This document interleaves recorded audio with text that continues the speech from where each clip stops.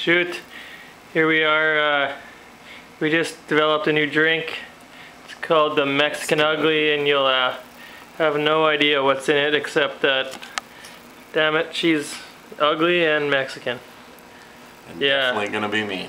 Oh yeah, check that out. All right, Chad's gonna slammer. alright first one. I've already had enough to drink tonight. Cheers, guys. Well, not enough, but you know. Bang. How was the first Mexican Ugly? Let's have some more. Very nice.